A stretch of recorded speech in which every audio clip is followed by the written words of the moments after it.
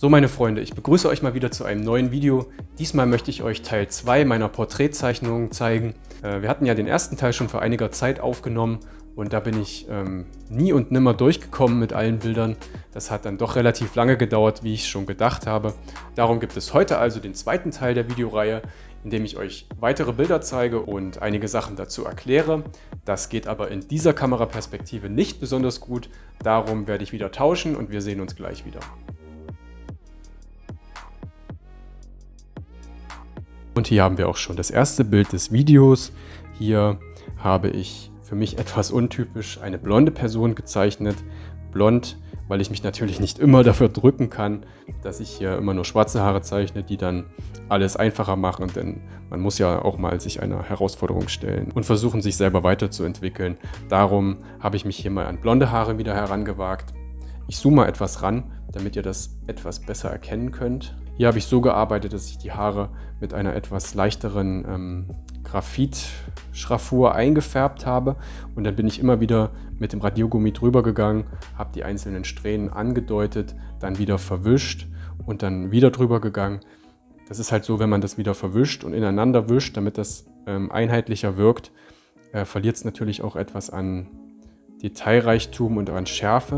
Darum musste ich dann halt immer wieder, wie zum Beispiel hier, mit dem Radiergummi drüber gehen, damit ich hier die einzelnen Haare wieder andeuten kann, die dann aber auch wieder noch etwas verwischt werden müssen, da es sonst, hm, ja, sonst stechen die zu sehr hervor und wirken zu aufgesetzt. Die müssen halt noch etwas eingearbeitet werden ins Bild. So auch hier zum Beispiel auf der linken Seite. Was fällt sonst noch auf auf diesem Bild? Ich habe hier zum Beispiel eine Hand mit eingezeichnet, die aber äh, mehr angedeutet ist, als dass sie wirklich ausgearbeitet ist. Also gerade hier so an den Fingern, das ist alles etwas, aber bewusst etwas ähm, verwischter gehalten, da ja auch viel von den Haaren verdeckt wird. Und hier bei dem Pullover war das auch noch eine kleine Herausforderung, dass ich das nicht alles nur schwarz machen konnte, sondern das ist wie so eine Art Rollkragenpullover, der hier oben so geriffelt ist. Und da muss man halt gucken, dass hier unten diese Bereiche, in denen sozusagen diese Riffel sind, dass es hier etwas dunkler ist und hier oben dann heller wird. Sonst habe ich hier relativ viel wieder schwarz gehalten von den Klamotten und der Hintergrund, okay, da hätte ich mir vielleicht noch etwas einfallen lassen können, wie ich den noch verzieren kann. Das ist sowieso die Frage, die ich mir bei den nächsten Bildern stellen möchte, wie ich den Hintergrund noch etwas besser hinbekomme. Was mir noch aufgefallen ist, dass die Augenbrauen vielleicht etwas zu dunkel geraten sind. Die hätte ich noch etwas mehr abschwächen können. Aber insgesamt bin ich mit diesem Bild wirklich zufrieden. Um euch mal zu zeigen, welches Format ich sonst noch benutze, habe ich jetzt mal dieses Bild neben das andere gelegt. Das hier ist A4 und das ist hier A5. Ähm, trotzdem habe ich die Fläche weitestgehend komplett genutzt, sodass die Größe des Porträts eigentlich sich gar nicht so sehr von dem anderen unterscheidet. Hier bin ich halt wieder auf die typischen schwarzen Haare zurückgegangen, wo viel eingeschwärzt werden muss und äh, nur ein kleiner Teil des Gesichtes zu sehen ist. Aber ich finde halt diese kontrastreichen Bilder, die sehen auf, als Porträt immer mit am besten aus. Einfach war es hier auch, weil die Augen zu sind. Das heißt, ich musste jetzt die Augen nicht wirklich nochmal individuell einzeichnen, sondern konnte einfach nur die Wimpern einzeichnen. Die meiste Arbeit hat der Mund gemacht und die Schattierungen rund um die Nase, damit das sich gut einfügt und wie aus einem Guss wirkt. Aber das hat mit einiger Schattierungsarbeit dann ganz gut geklappt. Hier unten haben wir noch ein Tattoo auf dem Arm. Das habe ich mit einem etwas härteren Bleistift gezeichnet und dann verwischt, damit es sich besser ins Hautbild einfügt. Und ansonsten, was kann ich sonst noch zu den Haaren sagen? Also Gerade wenn man jetzt nur so eine schwarze Masse hat oder damit es nicht so wie so eine schwarze Masse wirkt, mache ich das immer so, dass ich gerade hier so an den Seiten dann noch einzelne Haare einzeichne, die so ein bisschen abstehen. Dadurch wird es halt so ein bisschen aufgebrochen. Man sieht es auch hier oben. Oder zum Beispiel auch hier, indem ich hier noch so eine Strähne ins Gesicht fallen lasse. So wirkt es halt nicht wie so eine ja, einzelne schwarze Fläche, sondern wirklich wie so eine dicke schwarze Haarmähne. Das nächste Porträt ist von einer jungen Dame, die ihr vielleicht kennen könntet von Lara Loft, der äh, Synchronsprecherin und äh, auf Twitch und YouTube macht sie auch noch einige Sachen. Hier habe ich wieder ähm, voll auf diesen hell-dunkel-Kontrast gesetzt, dass ich die Haare sehr dunkel eingefärbt habe und halt nur hier unten an den Strähnen, hier so, wo es wo die Haare etwas auslaufen, heller gemacht habe. Und dieses Oberteil habe ich auch komplett schwarz gemacht. Ich glaube aber in der Vorlage war das weiß gewesen. Da habe ich mir aber die Arbeit mit diesen ganzen Falten und so weiter gespart. Außerdem haben wir hier noch ein Headset, was man jetzt durch die Dunkelheit nicht wirklich sieht. Aber das war auch genau gerade der Sinn, denn ich wollte halt, dass man hier gerade diese Spiegelungen hat, die etwas deutlicher hervorstechen. Und dann natürlich hier oben noch diesen Bogen, der das Headset mit den beiden Teilen verbindet. Der Fokus lag auch hier wieder darauf, das Gesicht richtig hinzubekommen. Und vor allem ist es ja immer etwas schwierig, dann auch die Person so zu treffen, dass man sie auch wirklich erkennt. Also ich weiß nicht, sie hat leider nicht darauf reagiert, auf das Bild. Ich weiß nicht, ob es ihr gefallen hat, ob sie es jemals gesehen hat. Vielleicht passiert das ja irgendwann nochmal. Würde mich auf jeden Fall freuen. Das Bild hier ist so ziemlich das erste Bild, bei dem ich meinen äh, damaligen Stil nochmal komplett geändert habe. Hier habe ich damit angefangen, auf dieses typische bleistiftartige, skizzenartige ähm, Design zurückzugreifen. Ich hatte einfach, oder ich wollte einfach meinen Stil etwas dahingehend ändern, dass ich weniger auf diese kompletten und perfekten Porträts setzen wollte, sondern vielmehr versuchen wollte, schon realistisch zu zeichnen, sodass man wirklich einen Menschen auch detailreich erkennt, aber dass es eben trotzdem immer noch als Zeichnung gleich zu erkennen ist. Denn bei anderen Bildern hatte ich manchmal den Eindruck, dass Leute zu mir gesagt haben, wenn gerade wenn sie es von ein bisschen weiter weg oder von etwas kleiner gesehen haben, dass sie gesagt haben, hä, ist das jetzt ausgedruckt oder ist das selber gezeichnet? Und da dachte ich mir immer so, hm, einerseits willst du schon realistisch zeichnen, andererseits willst du aber halt auch, dass es immer noch als Zeichnung zu erkennen ist. Und darum habe ich mal diesen komplett neuen Stil hier ausprobiert, dass ich viel Augenmerk immer noch auf die Augen, auf die Nase, auf den Mund, also auf diese wirklich wichtigen Teile des Gesichts gelegt habe und den Rest so im Unklaren gelassen habe oder eher so angedeutet habe, halt wie in so einer typischen Skizze. Gerade hier oben ist ja dann doch relativ viel freie Fläche, die habe ich dann halt bewusst freigelassen ähm, um das Bild etwas offener zu gestalten. Und dadurch, dass man ja hier unten diese Verbindungslinie dieser einzelnen Haarsträhne hat, fügt sich das im Gehirn sozusagen als komplettes Bild zusammen. Zumindest hoffe ich, dass das, das so ist. Was haben wir sonst noch? Das Ohr, gut, da hätte ich vielleicht sogar hier unten noch ein bisschen mehr ausarbeiten können. Das wirkt mir jetzt fast schon zu leer. Und ansonsten habe ich hier noch die, den Wangenknochen angedeutet und dann halt hier unten bei der, der Übergang zwischen Kinn und Hand. Die Hand finde ich eigentlich ganz gut. Wobei man auch wieder überlegen könnte, ob man jetzt die Finger noch etwas deutlicher hervorhebt. Das sind halt alles so Detailfragen. Aber wie gesagt, ich wollte halt, dass das Gesicht im Fokus steht und das drumherum dann mehr als angedeutete, angedeutete Bereiche vorhanden sind. Den Kontrast dazu bietet dann wieder dieses Bild hier. Hier bin ich nochmal auf meine alte Zeichentechnik zurückgegangen, wobei man aber auch sehen muss, wenn ich hier mal ranzoome an das Gesicht, dann ist das hier schon etwas grober als jetzt bei den vorhergehenden Porträtzeichnungen, wo ich versucht habe, möglichst detailreich zu zeichnen. Hier war das nochmal so ein Übergang zwischen dem alten und dem neuen Stil. Da habe ich versucht, schon etwas skizzenhafter zu zeichnen, aber trotzdem noch das Gesicht äh, so realistisch wie möglich darzustellen. Natürlich auch hier wieder die schwarzen Haare, weil das wie immer einfacher ist. Aber ich muss sagen, ich bin hier nicht so komplett ins Schwarz gegangen, sondern habe trotzdem immer noch versucht, die einzelnen Strähnen anzudeuten. Das sieht man dann auch hier unten. Da, wo es weiterhin ausläuft, hätte ich vielleicht sogar an manchen Stellen noch etwas dunkler arbeiten können, aber okay. Hier haben wir auch wieder die Augen, die weitestgehend verdeckt sind bzw. geschlossen sind. Allerdings hier nicht ganz geschlossen, wie bei dem vorhergehenden Bild oder eins davor. Hier sieht man noch einen kleinen Teil des Auges. Gerade hier so am Mund ist wieder so eine dunklere Stelle und hier noch der Leberfleck oder das Muttermal am Kinn, was nochmal hervorsticht. Und was ich sagen muss, hier gefällt mir dann halt die Hand besser als bei dem Bleistiftbild von gerade eben, da ich hier noch mehr Schattenflächen eingezeichnet habe und das dadurch alles noch ein bisschen plastischer wirkt. Was auch Spaß gemacht hat zu zeichnen, war hier unten das Oberteil, dadurch, dass das halt so gestreift ist und die Streifen, weil das halt so nach unten rutscht, äh, ja, so ein bisschen verschoben sind. Die sind halt nicht so, ähm, ja, wie soll man das sagen, so richtig parallel nebeneinander, wie wenn man das T-Shirt ausgebreitet hinlegen würde, sondern halt so leicht verschoben und das äh, wirkt eigentlich auch ganz gut, finde ich. Und hier ist schon das nächste Bild. Hier habe ich den Bereich des Blattes nicht komplett ausgenutzt, sondern ich wollte bewusst halt so einen größeren, ja, so eine größere Fläche drumherum freilassen, damit das Bild für sich in der Mitte wirkt und dann nur durch die Haare hier an der Seite zum Beispiel aufgebrochen wird. Die habe ich auch, das finde ich eigentlich auch ganz gut. Also ich versuche auch jetzt in Zukunft wieder mehr zu diesem Stil hinzugehen, dass ich die Haare vielleicht auch nur andeute und wirklich den Fokus so auf das Gesicht lege. Ich könnte vielleicht mir vorstellen, dass ich bei zukünftigen Bildern nicht so viel weiß lasse, wie jetzt zum Beispiel hier, dass ich noch so ein paar mehr Übergänge schaffe. Aber meistens ist das auch immer von Bild zu Bild verschieden. Also das hängt dann auch immer davon ab, wie die Vorlage aussieht, was ich mir dann in dem Moment dabei denke, was ich mir vorstellen könnte, was gut aussieht. Das muss man dann immer individuell sehen. Aber wie gesagt, dadurch, dass das hier offen gelassen wird und man sozusagen den Verstand, den Rest des Bildes ausfüllen lässt, finde ich das eigentlich ganz gut. So hier unten fällt dann auf, dass ich hier auch versucht habe, bewusst nicht zu detailreich zu arbeiten, sondern das mehr so, ja, wie soll man das sagen, fast schon so hingekritzelt habe, um halt wieder diesen skizzenartigen Effekt zu haben. Was auch noch auffällt, dass ich hier zum Beispiel nicht komplett auf die 45 Grad Strukt, äh, Schraffur gegangen bin, sondern das versucht habe, so als Kreuzschraffur zu machen. Und dann haben wir hier noch so eine Art Nasenpiercing, was auch noch mehr oder weniger angedeutet ist, aber gehört natürlich mit dazu. Ja, die Augen, okay, die Augen, vielleicht hätte ich die hier, na, wobei vielleicht ein bisschen zu dunkel geraten. Da muss ich auch noch gucken. Ich habe halt immer das Problem, dass meine Augen meistens hier oben auf den Lidern und an den Wimpern zu dunkel werden. Da muss ich auch noch ein bisschen dran arbeiten. Aber das sollte schon noch hinzukriegen sein. Schließlich zeichne ich ja erst seit einem guten Jahr Porträt und ähm, ja, brauche noch einige Zeit, um mich noch weiter zu verbessern und noch mehr Routine reinzubekommen, mich noch mehr an Bilder heranzutasten. Hier haben wir dann auch schon das nächste Bild, auch wieder so in diesem neueren Stil, in diesem ja, skizzenartigen Stil. Und ich muss sagen, das ist auch mit eins meiner Lieblingsbilder, weil ich es halt hier hinbekommen habe, dass die Haare einerseits so skizzenhaft ausschraffiert sind, aber halt das Gesicht im Vergleich zu dem Gesicht, was ich davor hatte, dass das noch etwas gerade hier so um die Augen und gerade so hier unten am Mund und so am Kinn, ähm, ich weiß nicht, das habe ich irgendwie besser getroffen als bei dem hier.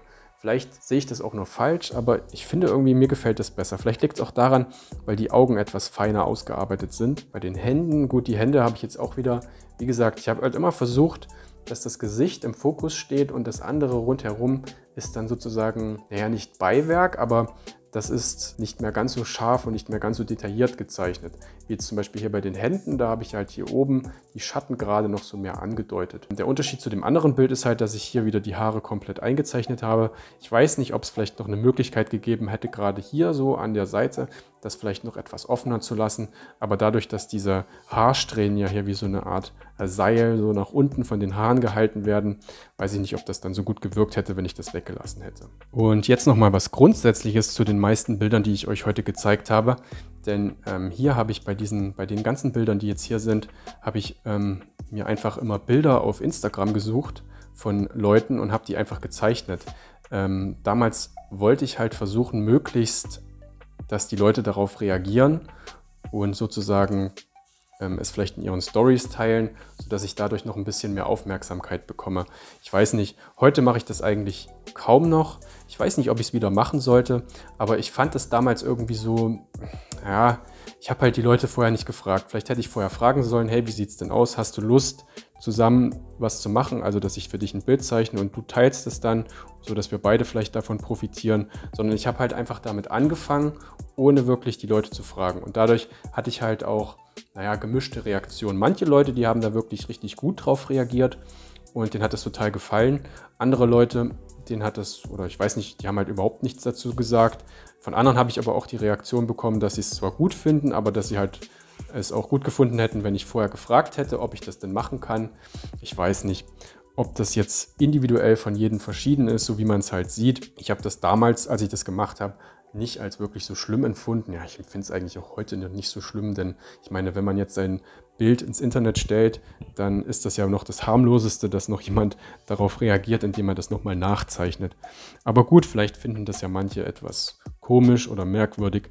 Darum habe ich das jetzt in Zukunft erstmal gelassen. Aber ähm, mich würde interessieren, was ihr denn dazu denkt. Würde euch sowas gefallen, wenn man ungefragt von euch ein Foto zeichnet und euch das dann per Instagram, also wenn man das dann postet und euch darauf verlinkt, würde euch das gefallen oder würdet ihr das komisch finden? Wäre ich echt mal gespannt, was ihr dazu sagt. Hier haben wir mal wieder ein weiteres Wolfsbild. Hier ging es auch darum, dass ich mit diesem Bild etwas schneller fertig werden wollte, als zum Beispiel mit diesem anderen Wolfsbild, das ich euch im letzten Video gezeigt habe, wo ich ja, was weiß ich, über zwei Wochen dran gesessen habe. Und darum habe ich hier zum Beispiel bei den Zwischenstellen relativ viel weiß gelassen oder auch hier oben über den Augen und an den Ohren, um ähm, mal zu gucken, wie viel muss man denn zeichnen, dass es einerseits realistisch wirkt, andererseits aber halt auch noch so viele Freiflächen zwischenbleiben können, dass es halt nicht störend wirkt. Wenn ich jetzt mal umdrehe, 23. bis 26.12. Okay, also das waren jetzt vier Tage, die ich an dem gesessen habe. Vier Tage. Und das im Vergleich zu diesem anderen Bild, was ich damals hatte, wo ich über zwei Wochen dran gesessen habe, weil das Fell halt so lange gedauert hat, bin ich doch mit dem hier etwas schneller gefahren. Und trotzdem finde ich, dass dieses Bild eine gute Wirkung hat, dadurch, dass halt die, ähm, dass die Fellstruktur trotzdem an den dunklen Stellen ähm, vorhanden ist und angedeutet ist, hat man eben trotzdem diesen Felleffekt, obwohl halt relativ viel Weiß dazwischen ist. Dann habe ich hier noch einen Hund für euch. Das ist ein kleiner Husky. Auch hier habe ich wieder versucht, viele Flächen nur anzudeuten, wie jetzt zum Beispiel hier unten oder hier so um die Schnauze herum. Da mit dieser ähm, Schraffurtechnik wieder, hier unten, wo es dann etwas dunkler wird, etwas dunkler schraffiert und hier dann heller und dann äh, dementsprechend halt mit Wattestäbchen oder mit Verblendungsstift verwischt auch hier auf der Schnauze, dass man hier noch so eine kleine Struktur oben drauf erkennt und die Schnauze so ihre Form erhält. Und detaillierter bin ich dann erst ins Fell gegangen, hier oben an diesen dunklen Stellen. Und dadurch, dass ich halt hier wieder freigelassen habe, aber die Haare hier so hineinreichen, ähm, wirkt das halt auch so, als ob hier diese, dieses Fell halt nur besonders hell wäre und der Kontrast dieses Bildes halt so hoch ist, dass man bei den weißen Flächen die Haare nicht erkennt. Aber dadurch, dass du halt diese schwarzen Sachen hier hast, diese schwarzen Haare, die hier hineinragen, macht das Gehirn dann daraus, dass das halt auch wie, wie Fell sozusagen ist. Was ich euch hier noch zeigen kann, ist, dass ich bei den Augen einen kleinen Fehler gemacht habe, nämlich das Auge ist ein Stück größer als das Auge. Das wirkt etwas kleiner oder ist auch etwas kleiner, es wirkt nicht nur so. Aber wenn wir uns jetzt das Bild mal angucken, wie es im Gesamten aussieht, dann merken wir schon, okay, irgendwas stimmt hier nicht ganz. Und zum Beispiel auf meinem äh, Instagram-Profil habe ich halt, also ich habe halt nochmal, als ich dieses Bild in GIMP bearbeitet habe, habe ich das Auge nochmal ein Stück vergrößert und dann halt die bearbeitete Version auf Instagram hochgeladen. Von daher werdet ihr dann dort, wenn ihr euch das Bild vielleicht mal da anguckt, das mit dem Auge dann nicht mehr sehen. Und um das Wolfshund oder Wolfs-Husky-Trio komplett zu machen, habe ich jetzt hier noch den dritten Hund für heute für euch. Ähm, auch dieser ist jetzt wieder in diesem gleichen Stil gehalten mit den äh, freien weißen Flächen. Hier habe ich ihn im Profil gezeichnet, was ähm, die Arbeit etwas vereinfacht hat, dadurch, dass man halt nur ein Auge zeichnen muss und jetzt nicht so sehr darauf achten muss, dass das alles symmetrisch ist. Das Bild erzielt seine beste Wirkung dadurch, dass ich halt hier vorne an der Schnauze ähm, ja, das so ein bisschen verblendet habe, ein bisschen verwischt habe. Hier hat man halt so diese stärksten Verblendungen und dadurch entsteht halt so ein bisschen dieser plastische ähm, Schnauzeneffekt. Denn wenn wir uns mal angucken, der Rest des Bildes ist eigentlich nur schwarz-weiß.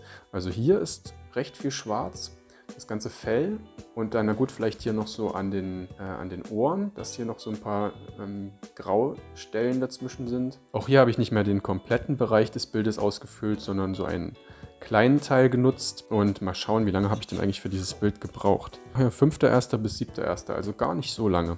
Das Problem bei diesen Bildern ist immer, dass ich jetzt, wenn ich zum Beispiel hier diese hellen Haare habe, die von der Schnauze hineinreichen, da habe ich das jetzt bei dem Bild so gemacht, dass ich ähm, sozusagen, als ich, bevor ich das hier ausgezeichnet oder ausgeschwärzt habe, habe ich halt hier diese weißen Stellen auch weiß gelassen. Also das ist jetzt nicht irgendwie mit ähm, Tipex oder so hinzugefügt, sondern das ist halt freigelassen und ich habe halt drumherum gezeichnet. Achso, und was ich auch jetzt erst gesehen habe, das Bild hier ist ja jetzt eines der ersten, was dann schon 2020 entstanden ist. Der Husky, der kleine Husky mit dem schiefen Auge von gerade eben, der war dann der erste, der äh, 2020 entstanden ist. Also sind wir jetzt sogar schon bei 2020 angekommen. Wahnsinn. Hier geht es wieder weiter mit einem Menschen, wobei bei ihr bin ich mir gar nicht so sicher, ob sie überhaupt ein richtiger Mensch ist oder nicht doch eher ein Vampir. Aber gut, diese Frage können wir wahrscheinlich gar nicht beantworten.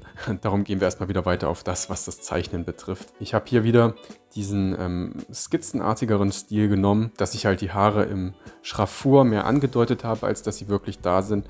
Und vor allem gerade so um das Gesicht rum dunkler geworden bin und dann hier unten immer heller oder auch hier hinten hin, dass das dann wirklich nur noch angedeutet ist und der Fokus mal wieder nur auf dem Gesicht liegt. Bei diesem Bild finde ich es halt auch immer erstaunlich, wie viel man schon plastisch erreichen kann oder plastisch darstellen kann, wenn man nur so ein bisschen verblendet. Ich habe ja zum Beispiel nur hier oben an der Stirn, dann hier so an den Augen und ein wenig um die Nase und hier so am Mund und hier drüben noch.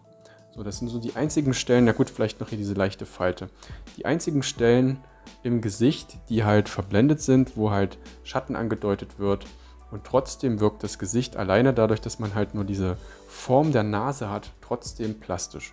Und das finde ich gerade beim realistischen Zeichnen immer beeindruckend, dass man wirklich mit wenigen Mitteln schon so viel darstellen kann. Oh, hier muss ich gucken, dass ich das ein bisschen schräg halte. Wenn ich es nämlich nur so hinlege, dann äh, spiegelt das wieder ziemlich. Hier habe ich wieder etwas dünneres Papier genommen, warum auch immer, ich weiß gar nicht mehr warum. Das kann man auch ganz gut sehen, dass ich dieses Bild oder das Papier dadurch, dass ich hier so stark ähm, schraffiert habe und so viel Schwarz auf das Papier gebracht habe, dass es sich etwas gewellt hat.